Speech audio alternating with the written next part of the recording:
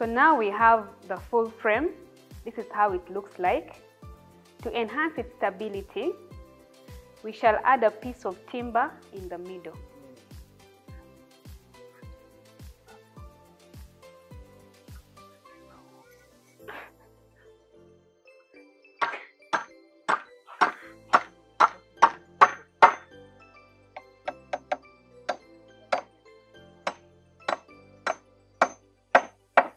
Uh, we are now going to make the base of the solar dryer.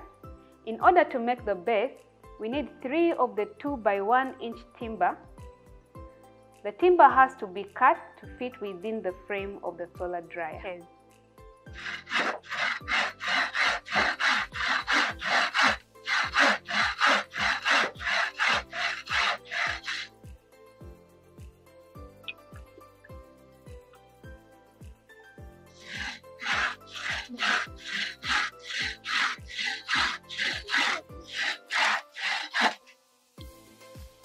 Then we, uh, we cut some notches to fit the, the, the timber.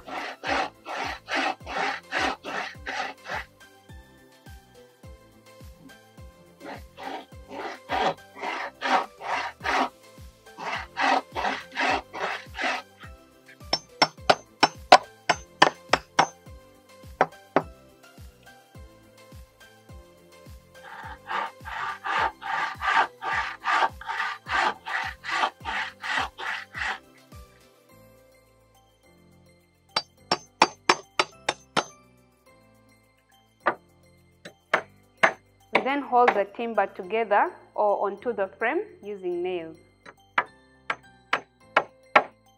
Next, we are going to create an air inlet space.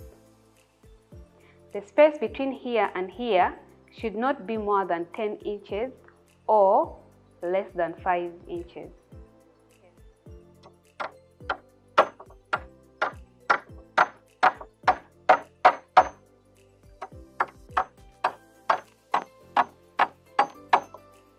Then we cover the air inlet space using a shade net.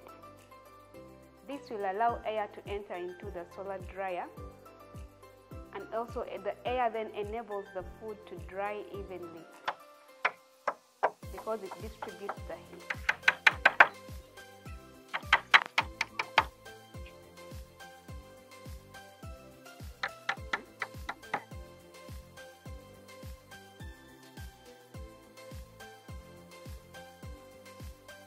Next, we lay the papyrus mat.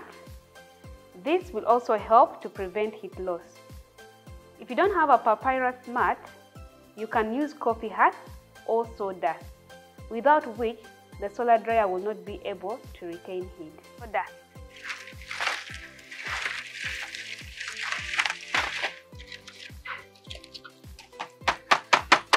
Cut the mat to fit within the frame of the solar dryer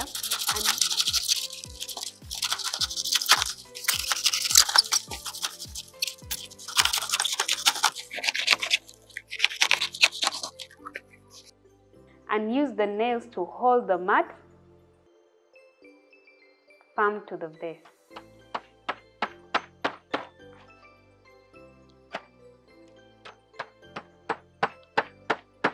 Next is to paint the iron sheets black.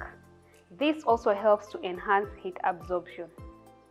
We recommend that you use oil paint because it sticks to the sheet, whereas the water paint easily fades out.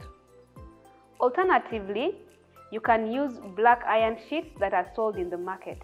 But if you don't have iron sheets, you can use a strong black polythene sheet, but it will not produce or it will not absorb as much heat as the iron sheet would.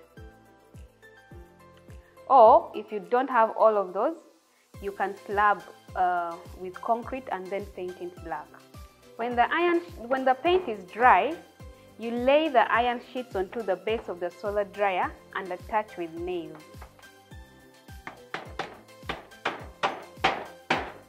Next, we create the roof of the solar dryer. For this, we shall use the 2 by 1 timber. We measure it to fit within the frame of the solar dryer and then we attach it using nails.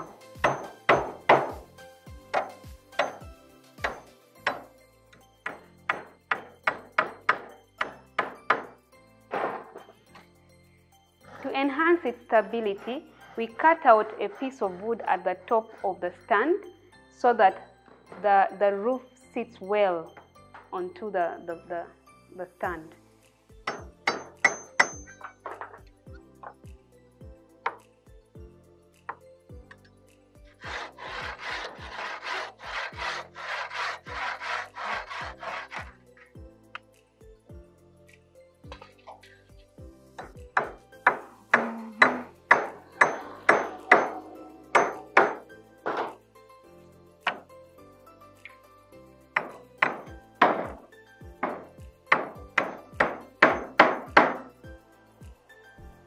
As you can see, the space between here and there is a bit wide.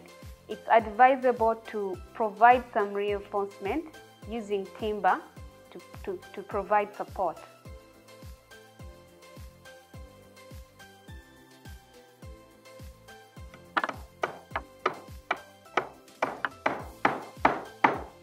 Next, we make the drying rack holders. This is the best where the, the, the drying racks, or you can call them trays, where they will sit on.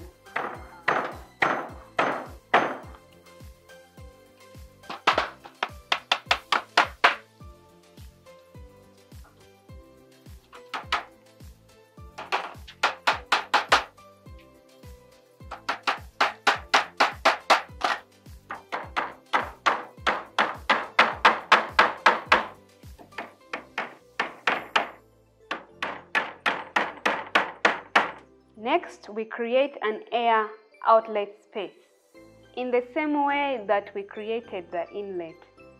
This is the space where air and vapor can escape out of the solar dryer. It will prevent vapor from condensing and falling back onto the food.